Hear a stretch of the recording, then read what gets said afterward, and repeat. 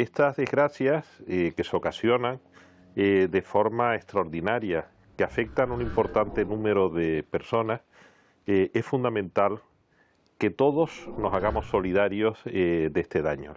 La pregunta es quién debe soportarlo. Aquel al que le ha tocado esta lotería fatal del volcán, aquel que le pasó la lava, algunos de los afectados, no todos, qué criterios seguimos para aplicarlo.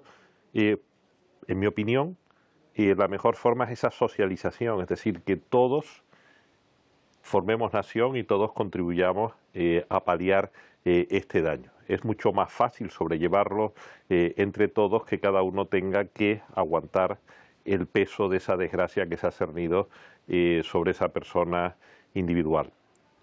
Tenemos ejemplos de esto. Un caso fue la erupción en el año 1973 en Islandia, en la que el Parlamento islandés, una población muy pequeña, alrededor de 300.000 habitantes, que al lado de la, de la, población de España es un número eh, insignificante, dieron el paso y se hicieron cargo toda la sociedad eh, islandesa de soportar eh, este daño y dar una nueva oportunidad, es decir, poner a todos los ciudadanos en la casilla de salida.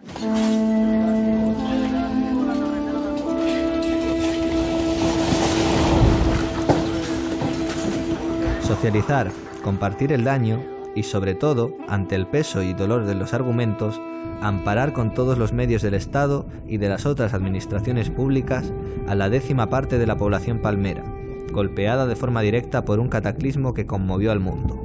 Cualquier desastre deja huella, vacío de la pérdida o merma de los bienes afectados, pero el volcán y sus horrores devoraron todo a su paso la casa centenaria de los abuelos y el chalet funcional que los hijos y nietos levantaron en el solar familiar, las propiedades de los vecinos con quienes crecieron y envejecieron, las ventas del camino y los talleres de artesanos y mecánicos que atendieron las reparaciones del menaje casero y las averías del primer automóvil, las calles enteras que crecieron alineadas con la sana intención de hacer pueblo, y también todos los servicios y símbolos que lo confirman como tal.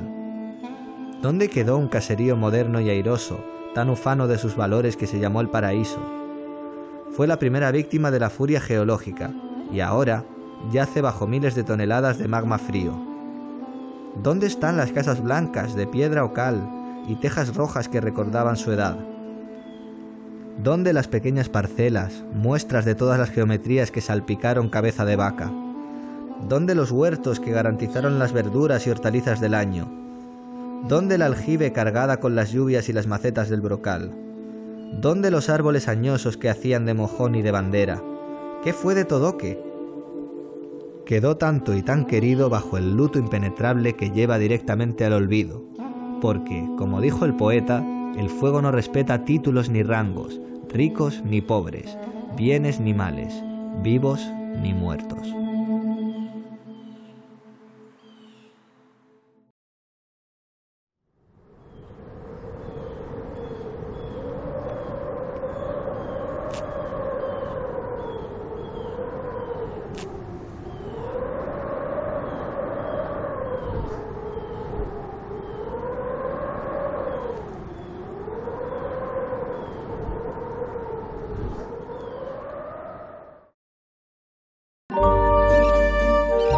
Primera posesión ultramarina, el archipiélago entró en todos los azares del siglo XV.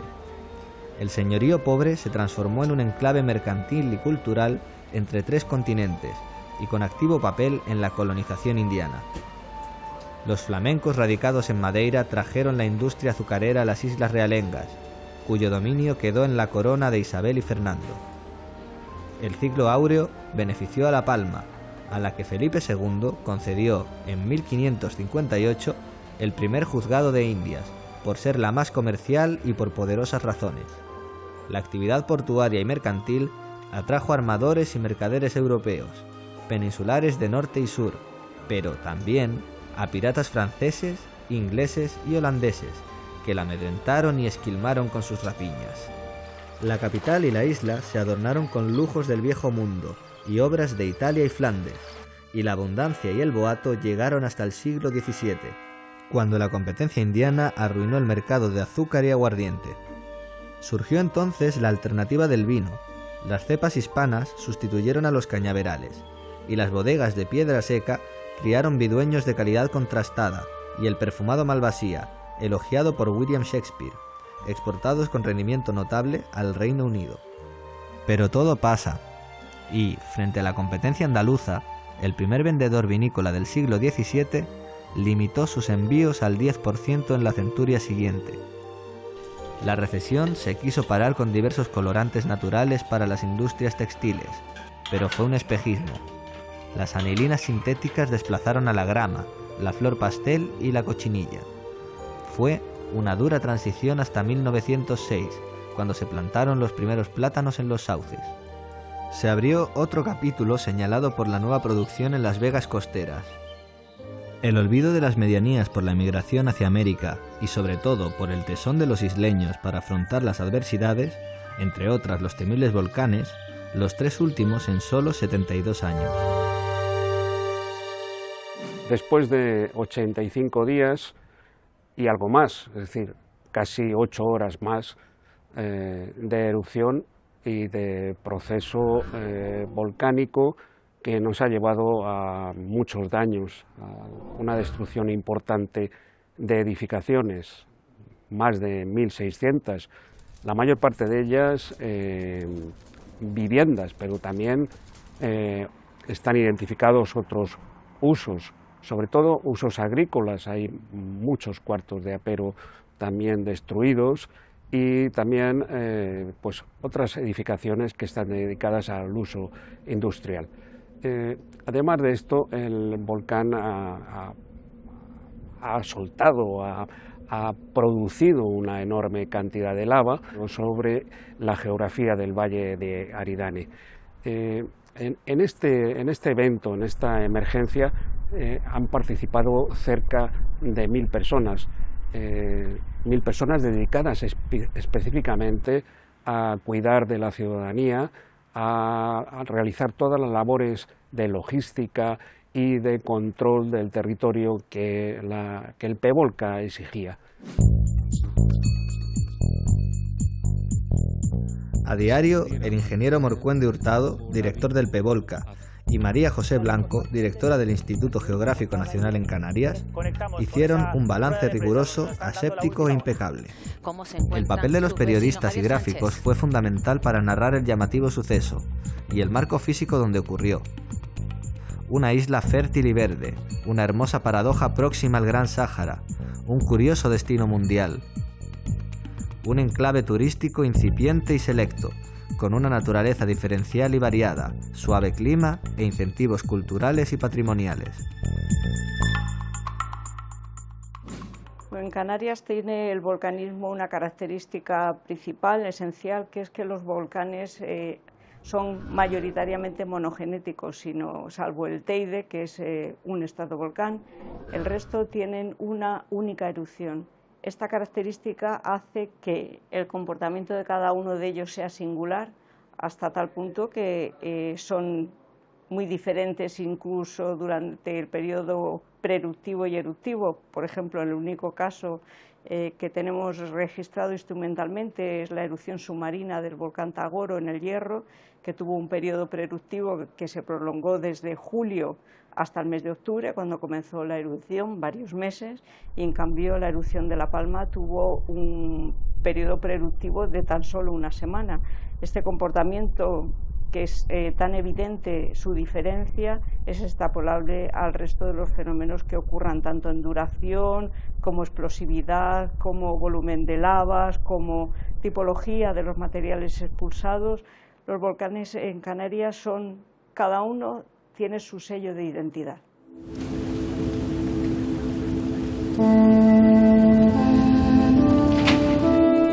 La de Todoque fue una muerte anunciada y advertida por los agoreros, y, contra la evidencia y hasta el último instante, negada por quienes defendían su casa, su memoria, su tierra y su modo de vida. Fracasaron todos los intentos de desviar el caudal destructivo hacia los flancos de la urbanización.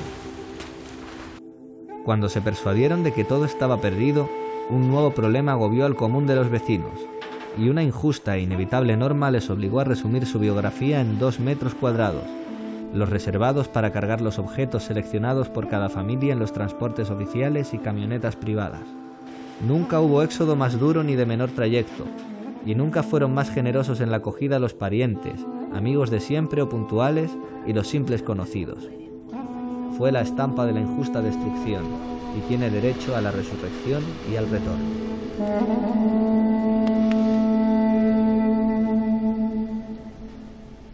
Soy Alberto Hernández, párroco de La Laguna, Todoque y Las Manchas, parroquias todas ellas afectadas de un modo o de otro por la erupción del volcán. En el caso de la parroquia de Las Manchas, San Nicolás, muy próxima al cono y también en el pasado afectada por la erupción del volcán de San Juan, aunque hubo de ser evacuada y, su patrimonio se trasladó a Fuencaliente, ya se ha podido reabrir al culto y en fechas recientes pues hemos podido retomar allí la actividad parroquial. Y esta parroquia en la que estamos, la de San Isidro Labrador en La Laguna, es también hogar compartido por los vecinos del barrio de Todoque, que como sin duda recordamos perdieron su, iglesia como consecuencia de la erupción. Aquí hemos reubicado aquellos elementos que formaban parte del, patrimonio de aquella parroquia, de forma que también los vecinos de todo que se sientan en casa reconozcan aquí elementos que les son familiares y que pues forman parte de su historia de, fe.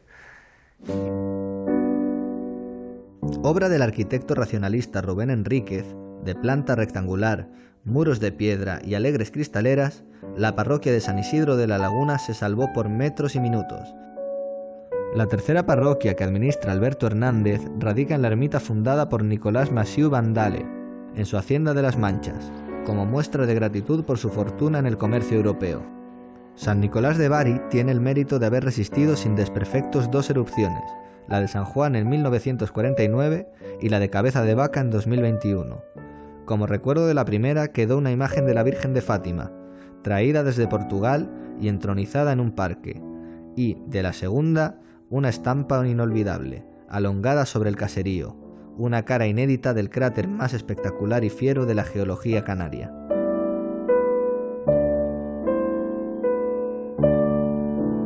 El drama del último volcán de, la isla eh, se une el dolor por ver cómo se derriba una casa, una finca, una huerta, un dolor que todavía no sé cómo lo podemos superar. Es el dolor de ver amenazado el Campo Santo, el cementerio, donde hay generaciones y generaciones de, eh, de personas que vivieron entre nosotros. Ese drama, ese dolor, no se puede cuantificar, no entra en las estadísticas podemos saber el número de casas que se llevó el volcán, pero el dolor y las tumbas, que ya no son tumbas, algunas totalmente cubiertas por la lava, evidentemente eh, va a costar mm, décadas el superar ese, ese dolor. El cementerio de Los Ángeles, el mayor de la isla y el único que contaba con horno crematorio, estaba protegido por el cono llamado el cogote y sentenciado durante dos meses. Finalmente, y ante la impotencia de los mancheros, la lava lo invadió el 25 de noviembre de 2021. Ubicado entre los cantones de Tajuya y Tamanca, se repartió desde 1837 entre los Llanos y El Paso. Contiene servicios intermunicipales, el Camposanto entre ellos. Tal es así que su destrucción fue un problema añadido para las familias de los 3.000 difuntos allí inhumados, vecinos todos del Valle de Aridane, y para los dos ayuntamientos. Asentado sobre malpaíses antiguos y nuevos, el caserío sostiene una agricultura heroica, de ahí viene su nombre, antaño regada con aljibes, y ahora a través del canal insular que, desde la laguna de Barlovento, alcanza el occidente. Son justamente famosas sus viñas, plantadas sobre malpaíses. El casco está nucleado por la pintoresca ermita, y a su alrededor, y en la carretera general, aparecen casas terreras y edificios de modulada volumetría y cuidados entornos. Procedo de todo que toda mi familia vivía en Todoque, en el Camino Muntajanero, un sitio maravilloso, maravilloso, eh, y vivimos con la tristeza, con el dolor de haber perdido pues nuestras raíces, nuestro cable a tierra, hemos perdido muchas cosas del pasado que yo no, no nunca pensé que fuesen tan, tan importantes y tan necesarias como saber de dónde de dónde viene, que aquello perteneció a, tu, a tus abuelos, que lo hicieron con tanto sacrificio. Desde ese 19 de septiembre estamos experimentando en, nuestras propias carnes la diferencia entre vivir y sobrevivir. Antes vivíamos, ahora sobrevivimos. Mi historia en concreto es que yo hasta el día 19 era una persona independiente, había hecho mis cálculos, había hecho mi, planificación de vida y ahora soy una persona completamente dependiente. Dependo de ayuda, dependo de, planes que, que no sé por dónde van. Esa sombra negra que hay detrás ha demostrado que somos fuertes, que hemos aguantado carros y carretas y seguiremos aguantando. Pero ya es hora, creo, que nos digan lo que tenemos que oír, no lo que queremos oír. Ya es hora que el político nos cuente la verdad, nos diga lo que nos va a pasar, porque somos la calle, somos el día a día, no somos futuro. El futuro son las generaciones venideras, pero las generaciones que están ahora son el presente. Y nos tienen que ayudar al presente, porque el presente no son niños de tres años, hay personas de 80 o mayores que que es su presente. No podemos llegar a 10 años, ni a 30 años, ni a, ese futuro. El futuro tiene que avanzar, la palma tiene que avanzar al futuro, pero el presente tiene que ir bien agarradito a ese, futuro, porque si no, ¿qué es de nosotros? ¿Qué es de la calle? ¿Qué es del día a día nuestro? ¿Qué nos van a decir? Pues sí que habrá solución seguro, que levantaremos cabeza y la palma volverá a resurgir de esas cenizas como un fénix. Como el ave fénix resurgiremos, pero Necesitamos ese día a día, necesitamos que nos guíen y nos cuiden en ese día a día. Soy uno de los grandes perjudicados de este volcán, en el que perdimos un complejo turístico de la noche a la mañana, como el otro que dice, y rogar, o como se quiera llamar a la Administración, que no nos olvide y que esto, cuanto antes, mejor para llevar esto a buen fin. Necesitamos ayudas de todo tipo, porque esto es una situación que no había ocurrido nunca de esta manera. Y entonces, pues queremos que, que llegue, que termine cuanto antes. Goretti Álvarez Pérez escapó a tiempo de su domicilio, salió con lo opuesto y sin saber qué podía necesitar en su vida. Ahora siente que jamás podrá volver al solar de sus antepasados. Reside en Tazacorte y no sabe por cuánto tiempo. Añora a sus parientes y amigos y por supuesto a Todoque, su pueblo, Marcelino Rodríguez Ramírez vive y duerme en una casa cercada por el basalto, pero en pie. Compartió los miedos cuando el río tenebroso devoró la gasolinera, el colegio, el parque de bomberos y dejó extrañamente en pie la Asociación de Vecinos de la Laguna como símbolo de permanencia. El empresario Ramón Rodríguez perdió en unas horas aciagas un complejo de casas blancas en un paisaje cuidado y amable, Ahora se siente incapaz de localizar la urbanización en el trágico panorama que enmarcan las montañas intactas de la laguna y Todoque, y el negro cinturón que las une. Goretti, Marcelino y Ramón tienen en común el infortunio, el pavor que recordarán mientras vivan y las dudas sobre el futuro. Les unen los recuerdos para las labores y los ocios, para las obligaciones y los sueños y el espacio ausente que se llama pueblo. El 28 de octubre de 2021 y por acuerdo del Consejo de Ministros se abrió el registro único de afectados que, desde su creación, es la estafeta abierta y el despacho para las peticiones, demandas y quejas de la ciudadanía.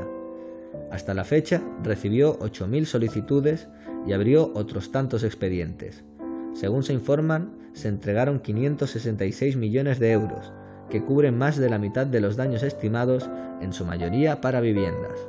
El Archivo General de La Palma guardará el protocolo de las peores páginas de un trimestre escrito y llorado con nombres y apellidos. Bueno, yo soy vecina del Paraíso, eh, solo bueno, de siempre, conozco a, todo lo que era la vecindad que había por allí, a la gente. Eh, yo eh, afortunadamente estuve, desafortunadamente estuve solamente dos años y medio viviendo en mi casa allí, que es lo que, lo que pude disfrutar después del volcán. Era de las personas que decía que jamás, que, que no, me, no me moverían de allí, sin embargo me movió el volcán. Y, y nada, lo que le digo a la gente es que tenemos que tener fuerza para seguir, eh, intentar luchar, que no se olviden de nosotros después de un año, porque la vida te cambia por completo. Bueno, pues qué decir de las ayudas. Las ayudas, la verdad que, hay gente que está contenta, hay gente que no, eh, pero no debemos de olvidarnos de que todo lo que se perciba y lo que, lo que llegue no es, no es mucho para, para lo que se ha perdido. Y, y eso, que sigan colaborando, que no se olviden, que es lo que yo siempre digo, si es fuego, deja terreno y deja estructura, pero el volcán no dejó nada. En, sí nosotros no lo hemos visto recuperación, eh, porque mm, al, haber cerrado fases, al haber estado seis meses sin haber eh, estado pescando, mm, lo que es pesca de bajura no se le ha visto mucho la recuperación.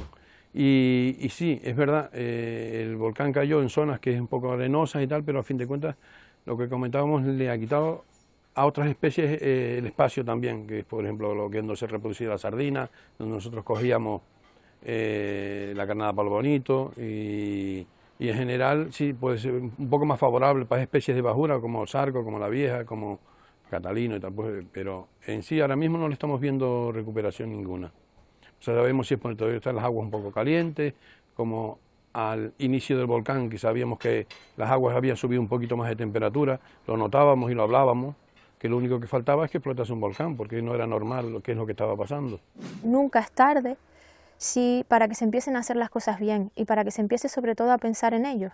Yo creo que si las administraciones se ponen primero en lugar de todos esos afectados, podrán buscar siempre soluciones eh, incluso se las han hecho llegar. Ellos han hablado, hemos hablado en esas reuniones que nos han hecho eh, partícipes para intentar hacer participativa todo el tema de la reconstrucción de la isla de La Palma. Les hemos hecho llegar soluciones y ya no tanto hablar de eh, soluciones provisionales, porque es verdad que ya son 12 meses, hablar de pensar en soluciones eh, eficientes para ellos. Hay muchas personas que todavía no saben nada acerca de sus propiedades, qué pasará con ellos, esas zonas que finalmente eh, acabarán protegiéndose y por lo tanto quieren saber si van a ser mm, expropiados y por lo tanto indemnizados con los valores correspondientes. Esas zonas que están pegadas a las coladas y que se encuentran muchos, como ha salido muchas veces la palabra, en zonas de, que se encuentran en el limbo porque no saben todavía qué pasará con ellos. Siempre hablamos de los directamente afectados, pero también que ha afectado mucho al crecimiento y al desarrollo de la isla, en el que nosotros lo que siempre pedimos a las administraciones es que se piense en no dejar a nadie detrás y en que tengamos cabida siempre aquí en la isla todos aquellos que estábamos y que, y que queremos seguir estando. Cada necesidad acreditada, cada petición, tiene causa y lugar probados señas, documentos de identidad y dirección propia o precaria a donde deben llegar las indemnizaciones y ayudas prometidas y reclamadas. Así, Lidia lamenta la pérdida de su soñada primera casa, levantada bloque a bloque por su joven familia en el paraíso perdido. Evacuado de la bombilla, Nicolás enumera las cuitas que afectan a los pescadores que tienen su base de operaciones en el renovado puerto de Tazacorte. Y Jennifer Sánchez, que, con el mandato de cinco asociaciones, suma temas comunes y separa particularidades de la bombilla, con acceso vetado, de la laguna recortada, del remo, nacido al socaire de las plataneras de San Juan, del todoque borrado del mapa y de las manchas, su pueblo. Se apagó el volcán, pero tenemos que encendernos nosotros para acelerar a las administraciones en sus deberes y para que los damnificados participemos plenamente en la reconstrucción. Esta es la consigna de la dirigente vecinal que denuncia que, un año después, no han podido regresar a sus casas ni la mitad de los evacuados, que la ceniza acumulada no les permite hacer una vida normal y, a tales problemas generales, une la demanda concreta, la recuperación de la conexión directa con Tajuya, la LP2, de vital importancia para recuperar el pulso y la vida diaria en las manchas. humanos tenemos muchas virtudes y, y, alguna, y alguna sensación de omnipotencia también que no siempre nos ayuda. Una de ellas es pensar que somos el centro de lo que existe. Y no, no somos tan el centro. Para nosotros 10 años es mucho tiempo, para la geología eh, un millón. Pensamos que podemos con todo, pero llega la naturaleza y nos dice, bueno, yo estaba ahí y tengo que respirar. Y el volcán arrasó las casas que arrasó, produjo el dolor que produjo, produjo la incertidumbre que produjo, produjo las pérdidas que produjo y produjo el duelo que produjo.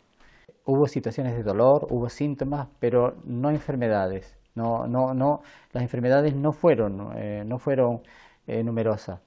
Entonces, mm, considerando todo esto, creo que debemos centrar el, el asunto de la salud mental y decir que, que no es conveniente transmitirle a las personas afectadas que están enfermas, sino que han pasado por, un, por una catástrofe de, de cuestiones que no son recuperables, pero que eso no es una enfermedad.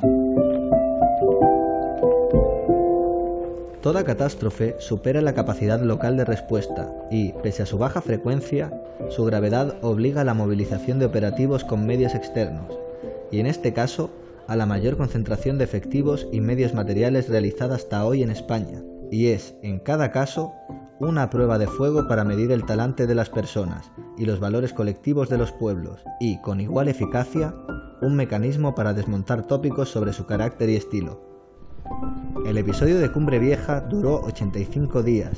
Se saldó, afortunadamente, sin víctimas, pero con la destrucción de bienes particulares e infraestructuras públicas por más de mil millones de euros.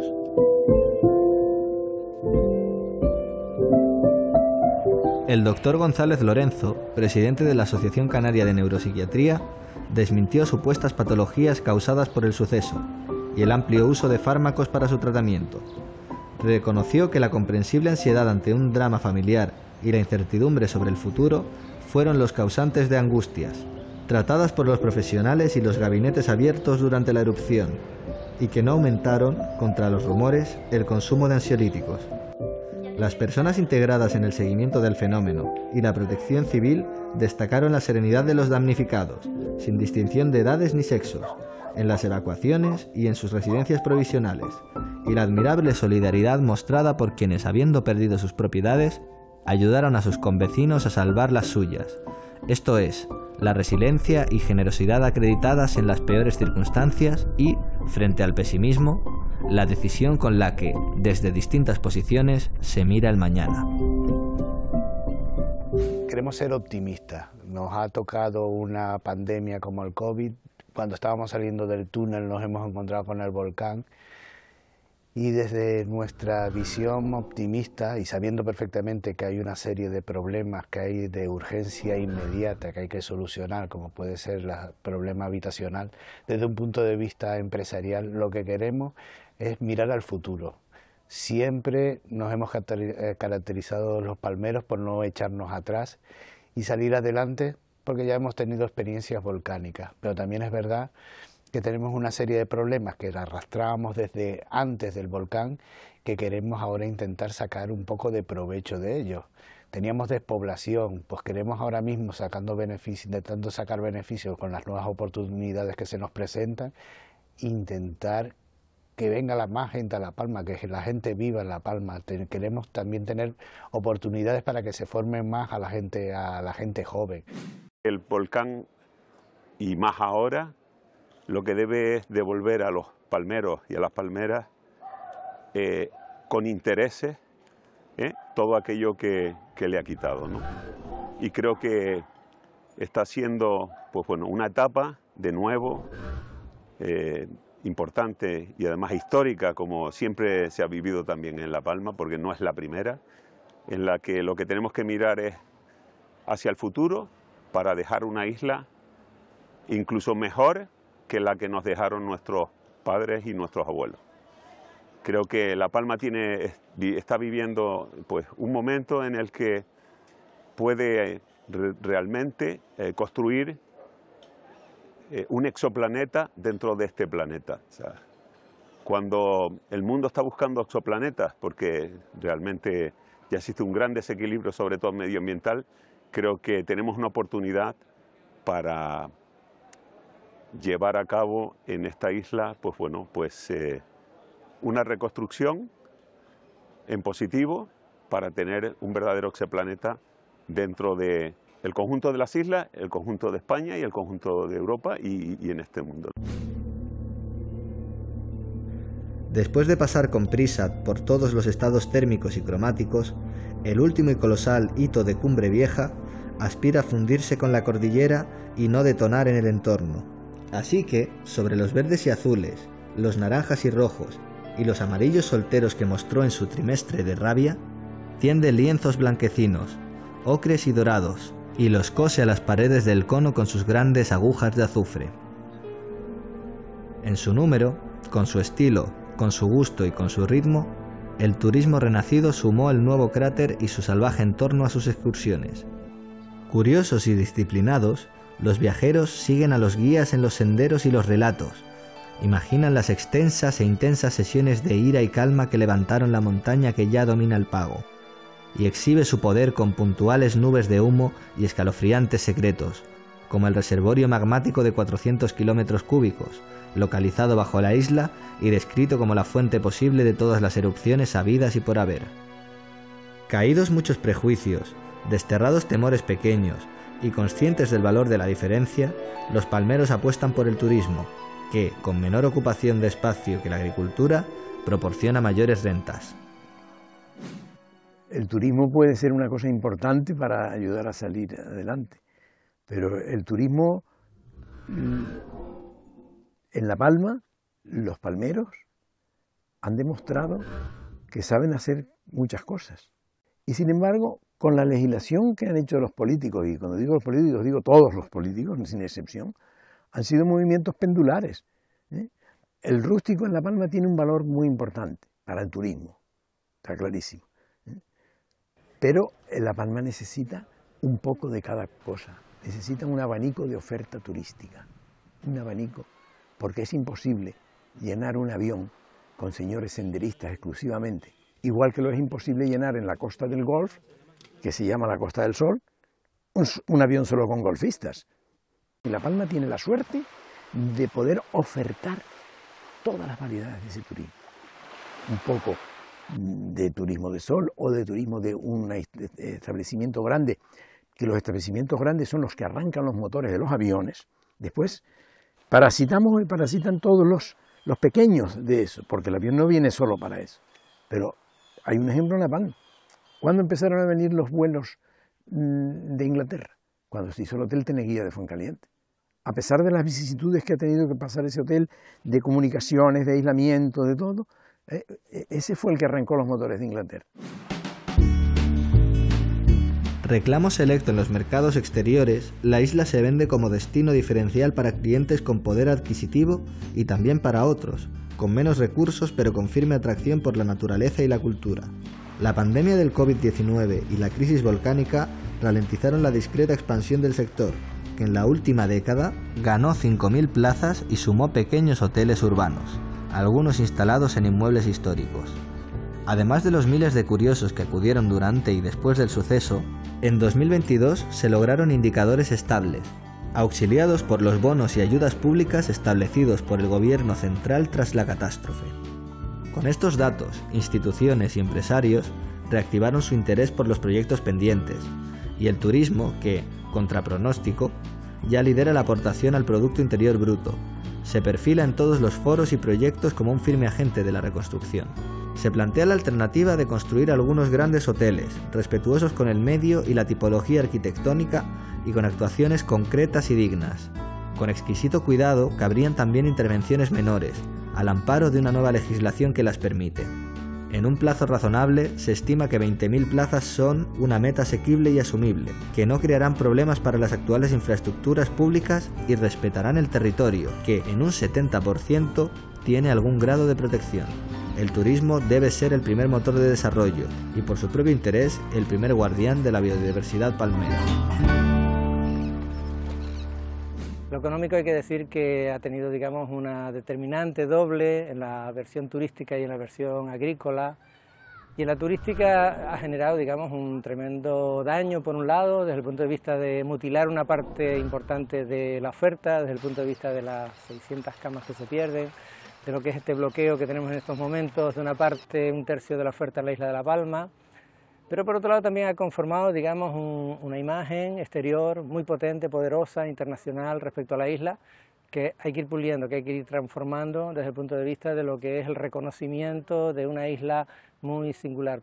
El desarrollo de, nuevos productos turísticos singulares, muy especializados, alineados con la isla, en las que están, irrumpe el geoturismo con todo el recurso de lo, volcánico, aunque todavía sea doloroso reconocerlo, hay que combinarlo con esas otras dimensiones importantes del turismo rural, el gastronómico, el enoturismo, los aspectos del ecoturismo, el turismo activo, la, la referencia internacional que supone el astroturismo, los híbridos de estos productos, no olvidarnos también de que el marcador fundamental de la isla, desde el punto de vista de lo que ha sido el volcán, es estar muy atentos a la naturaleza, muy respetuosos con la naturaleza, internalizar aspectos que humanamente en el sentido de emergencia climática son importantes y en ese sentido el turismo de salud viene para el futuro. Esto que hablamos de lo geotermal, de la Fuente Santa, son referencias que hay que mirar con esperanza, con planificación, con perspectiva de largo plazo, haciendo en el corto plazo y sobre todo intentando solucionar los dramas humanos que siguen conviviendo con nosotros, de vivienda, de empleo, de situaciones de carencias muy importantes, que es el legado por una parte del volcán, pero sin duda hay que mirar al futuro. Según la Organización Mundial, el turismo rural es una actividad que relaciona al visitante con un amplio espectro de productos vinculados a la naturaleza, la agricultura, las formas de vida y las culturas campesinas en toda su extensión. Desde 1991, la Asociación Isla Bonita agrupa propietarios de viviendas que siguen escrupulosamente estas reglas y apuestan por la calidad de los servicios. Repartidos por toda la isla, estos alojamientos suman unas 5.000 plazas que representan un tercio de la capacidad alojativa insular. Su presencia revalorizó el ámbito local, tanto en sus terrenos e inmuebles como en sus productos agrarios y artesanales, y fue una valiosa alternativa al progresivo despoblamiento del noroeste insular. El 25 de abril de 2019 y, después de muchos debates y recursos legales, se aprobó la Ley de Ordenación Territorial de la Actividad Turística en el Hierro, La Gomera y La Palma, que eliminaba una injusta moratoria exclusiva para estas tres islas. Su objetivo es la creación de un modelo sostenible propio y un desarrollo turístico mediante la realización en suelo rústico de unidades aisladas integradas en el medio y respetando el paisaje. Cuidando el cumplimiento del espíritu y la letra de la ley y los estándares de calidad exigibles a todas las instalaciones, bajo cualquiera de sus enunciados, esta modalidad de negocio es compatible y complementaria con la expansión económica que La Palma demanda. Sus beneficios tienen un claro interés social en cuanto llegan a sitios y personas con economías deprimidas, complementan las rentas campesinas, avalan el arraigo en el medio rural y son la más razonable y entusiasta defensa de un territorio con valores reconocidos. El renacer de la biodiversidad en La Palma, esa neocolonización tanto marina como terrestre, es un hecho, ya, ya se está produciendo. Gracias a la adaptación de, durante millones de años de nuestras especies a vivir entre volcanes, gracias a esas quipucas que funcionan como reservorios de especies características de la zona, en muy poquito tiempo, en unos cinco años, ya podemos empezar a ver a los nuevos colonizadores. Aquí realmente eh, las verdaderas afectadas de esta historia son las personas las familias que, que han sido evacuadas y que, y que llevan todo este tiempo eh, sin recibir el apoyo material y emocional que necesitan. Y sobre todo son agricultores y, agricultoras. ¿Y se está haciendo algo de todo esto? No. Yo creo que tenemos que dejar hablar al, al territorio. El territorio habla a través de la flora, de la fauna, a través de la gente que lo habita, de las personas que lo habitan, de las mujeres que, lo habitamos. Nosotras también sabemos, sabemos cosas, unas cuantas, pues sabemos también de, amor, de cuidados. A lo mejor por eso no nos dejan hablar mucho. O, o cuando lo hacemos, pues como quien oye llover. Con lo importante que es la lluvia. Regular y suave, la lluvia también es artífice inmemorial de la ínsula descubierta y elogiada por los navegantes mediterráneos desde la Edad Media, porque La Palma cuenta con una amplia literatura viajera que destaca su rotundo relieve, su variedad paisajística, que combina reliquias del terciario con las tierras más jóvenes y sorprendentes hechos diferenciales en una superficie de apenas 700 kilómetros cuadrados. La caldera de Taburiente, su accidente más notable y su paisaje más representativo, fue estudiada desde el siglo XVI hasta nuestros días por aventureros y humanistas eminentes, y, a su temprano título de Parque Nacional, 1954, une distinciones y honores más recientes. Figura entre los 100 lugares de patrimonio geológico más relevantes del planeta, según dictamen de la Unión Internacional de Ciencias Geológicas, IUGS, junto a espacios y accidentes tan emblemáticos como el Gran Cañón del Colorado, en Estados Unidos, las Cataratas de Iguazú, en Argentina, el Monte Kilimanjaro, en Tanzania, y el Flish de Zumaya, en España. A los valores geológicos, históricos y artísticos se une el catálogo botánico más rico del área atlántica de la Macaronesia, donde se ubican los archipiélagos de España y Portugal, con amplios pinares, selvas termófilas y endemismos regionales e isleños de extraordinario interés. La bondad de su suelo y el benéfico influjo de los vientos del este alejan de sus orillas el riesgo del desierto y dotan a la tierra de una extraordinaria capacidad de regeneración, constatada circularmente después de sequías, incendios y erupciones. Los palmeros lo llaman, sin comillas, el milagro de la vida. Eh, Canarias es en conjunto un volcán y La Palma en particular, sobre todo la, la conocida como Neopalma, pues es un conjunto de volcanes que se vertebra en torno a la hilera de la Cumbre Vieja. Desde el punto de vista botánico, la mitad sur de La Palma es más pobre porque es más joven y por lo tanto ha tenido menos tiempo para madurar los ecosistemas a diferencia de toda la mitad norte de la isla. Y es que tenemos volcanes desde prácticamente el nivel del mar, como es el caso del Teneguía, que surgió sobre los 300 metros de altitud, incluso un poco menos, hasta la parte más alta de la cumbre que roza los 2.000 metros. Pues resulta que tenemos la oportunidad de estudiar la secuencia histórica de los procesos de colonización natural de los volcanes. Y es lo que nos permite asegurar, sin volcanes no hay futuro. Si el último revés geológico mostró cuotas de violencia desconocidas hasta la fecha, la naturaleza palmera, pronto y bien, tal como se esperaba, descubrió su fortaleza. A la proverbial resistencia del pino canario se unieron otras dos vegetales que hasta ahora no habían mostrado esas capacidades. Se trata de la higuera, popular, atendida y aprovechada desde la prehistoria, y el castaño, introducido en el periodo histórico en las Canarias occidentales y que aquí cuenta con notables agrupaciones y ejemplares de gran porte. En la cercanía del cráter, en un radio de 200 metros, técnicos del Instituto de Productos Naturales y Agrobiología descubrieron ejemplares de higueras y castaños que, con los troncos sepultados en las cenizas, sobrevivieron a la erupción. El equipo que estudia el impacto volcánico en la biodiversidad atribuyó el hecho a la condición leñosa de ambos.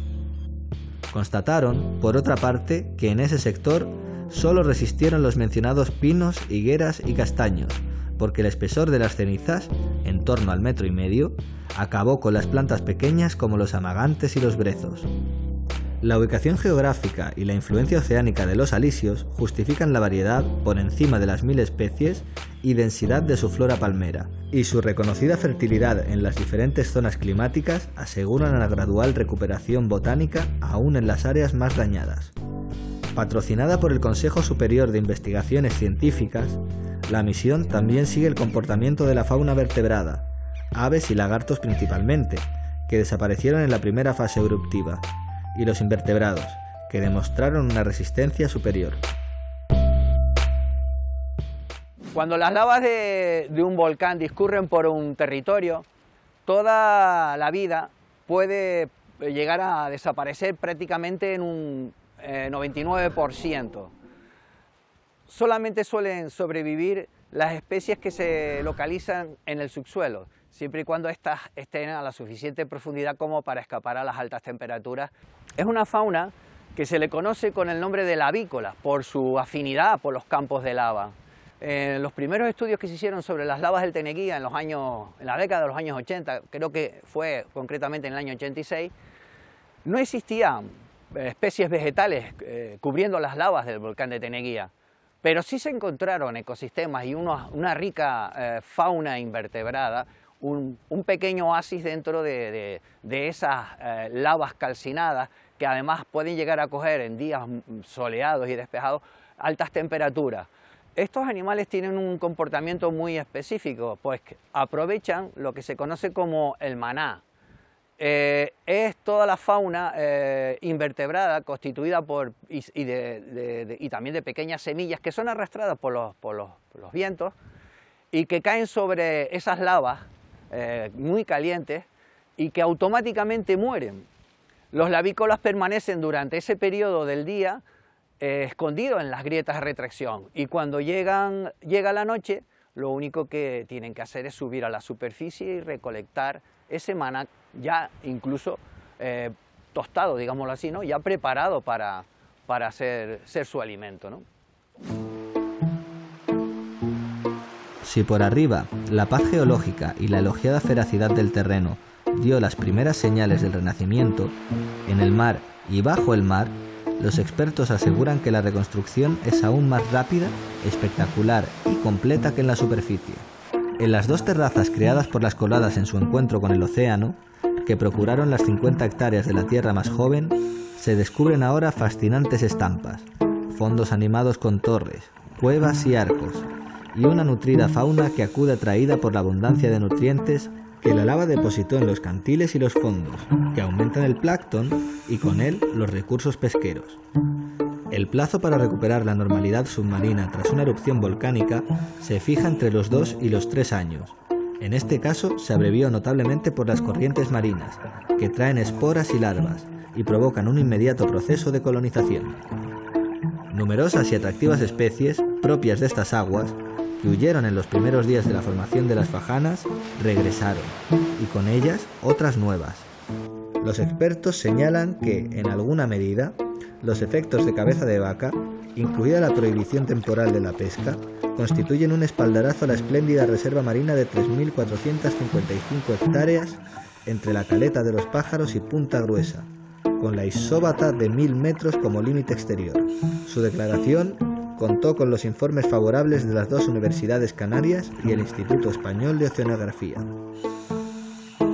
En el, medio marino, tan solo ya a los dos meses de, cesar la, erupción volcánica, eh, ya tenemos unas coberturas, sobre todo del grupo de, las macroalgas, de aproximadamente de más del 100%, es decir, prácticamente todo el sustrato nuevo está colonizado por, por especies. ¿no? Son especies eh, interesantes, especies especiales, que, son las denominadas primocolonizadoras, son las especies que llegan por primera vez a este sustrato y empiezan a formar como ese campo para que poco a poco se vayan siendo sustituidas por, por otras especies nuevas y lleguemos por fin, al final de todo esto, un proceso de sucesión y llegar a las comunidades más maduras que nos podemos encontrar en, lugares próximos ¿no? a, este, a estos deltas eh, de lava nuevo.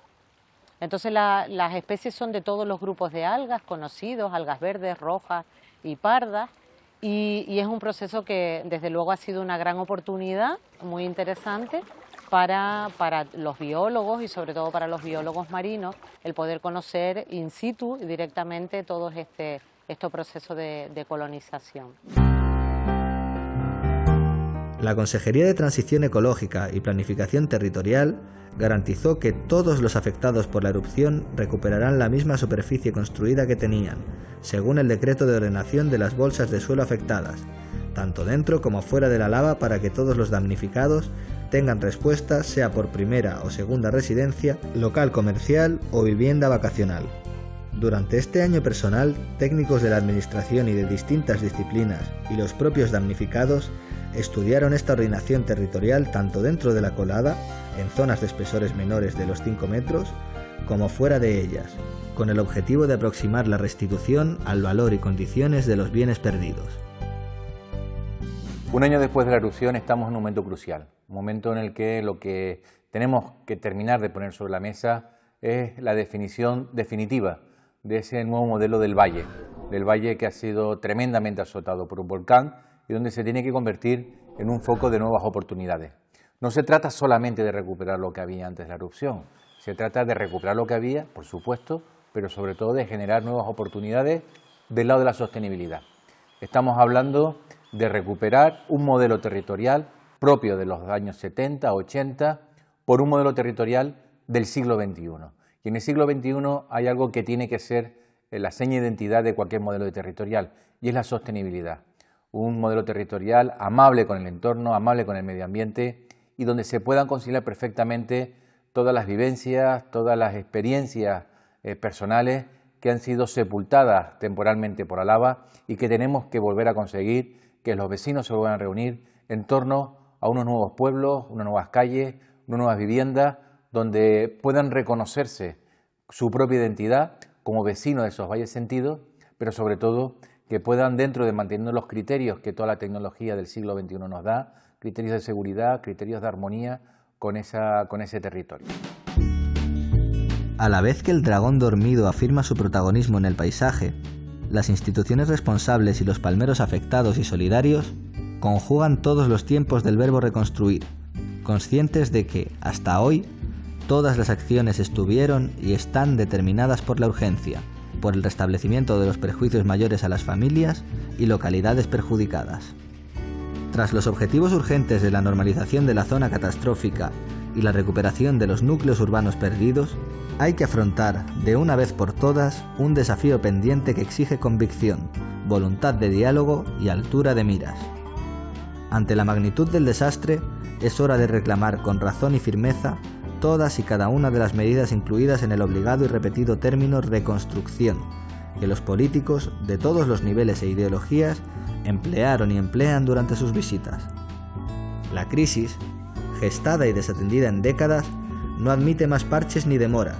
El cataclismo la desnudó ante propios y extraños, y las administraciones estatal, autonómica e insular no pueden limitar su deber legal y moral con la palma a obras puntuales y para salir del agujero ya tocan las actuaciones de alcance y con previsión de futuro.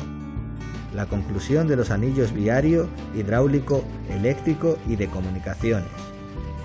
La comunicación de las zonas costeras del oeste y del este con el vértice sur de Fuencaliente, tanto para uso agrícola como turístico, el impulso y promoción de las medianías, los incentivos para las inversiones estratégicas y la puesta en valor de los cientos de hechos diferenciales que hacen de La Palma un museo vivo de la naturaleza y de la cultura.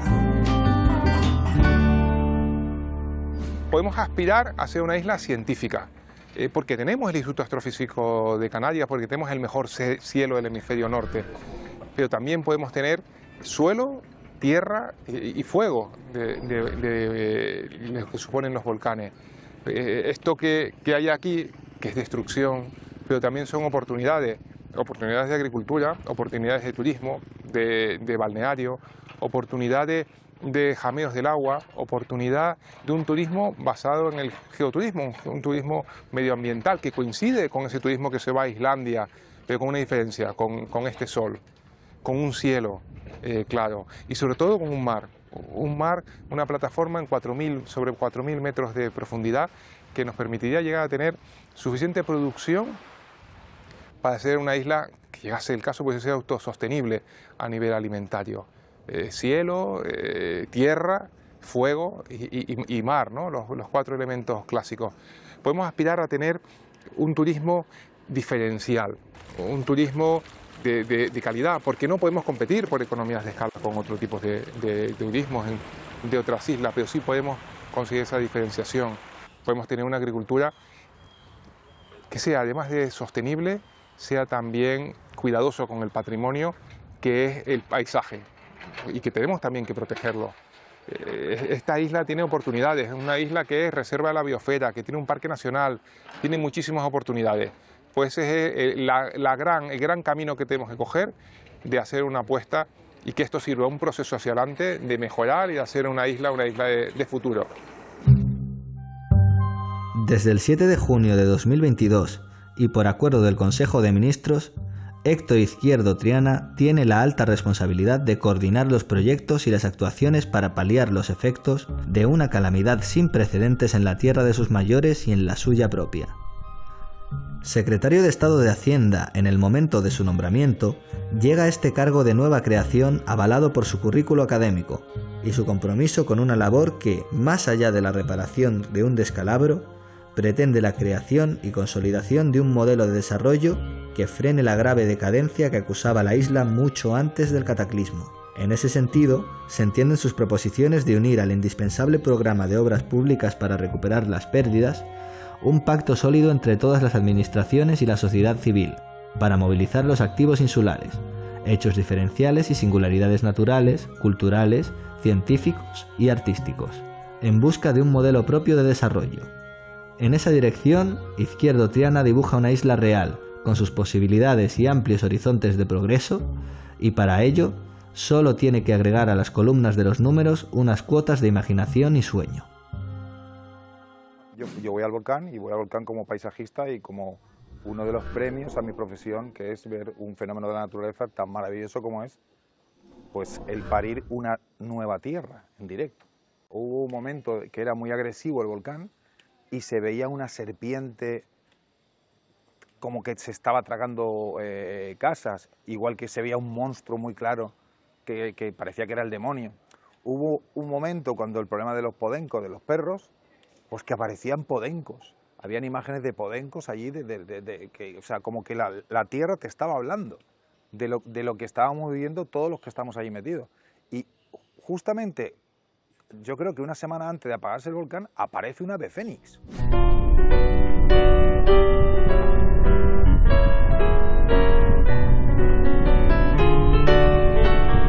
En la era que nos toca vivir, cuanto pasa en el planeta ocurre ante nuestros ojos y los ojos de nuestros coetáneos en las antípodas. Solo la trascendencia, alcance y rareza de la noticia determinarán su permanencia en los telediarios, boletines de radio y papel. Desde la explosión en cabeza de vaca, la noticia ganó la audiencia mundial por su magnitud y espectacularidad en un territorio mínimo y exótico, y por su ubicación en una de las áreas más luminosas, templadas y conocidas del Atlántico. El suceso batió todas las marcas de audiencia continuada e impulsó la respuesta solidaria desde vecindades y distancias impensables. Ahora es un hito en la memoria y también un reclamo para quienes quieren contemplar la tierra recién nacida. Detrás, y con el sello de permanencia, quedaron las voces y los ecos, la potencia y espectacularidad de las imágenes, grabadas en la memoria colectiva y dispuestas a regresar cuando las mueva la admiración y el pánico. En La Palma, en la banda norte del archipiélago, empezó el futuro desde que se declaró la extinción del volcán en la Navidad de 2021, y para el tiempo nuevo los palmeros exigen derechos y garantías. Derechos para los desheredados de la fortuna. Garantías para que la restitución no se limite al suelo calcinado, a la frontera de basalto que le creció al próspero valle de Aridane, sino que atienda la breve geografía. Reclaman un desarrollo compatible con la custodia y guarda de los valores de su patria, que es, en todas sus facetas, un laboratorio y taller de la naturaleza, una suma de singularidades y asombros, más propia de un continente que de un enclave de 70.000 hectáreas. Desde la paz geológica que permite aliviar los recuerdos y liberar los sueños, exigen el cumplimiento de las promesas y la curación de las heridas de una batalla desigual en la que, como siempre, ganó la vida, triunfó otra vez la isla sobre el volcán.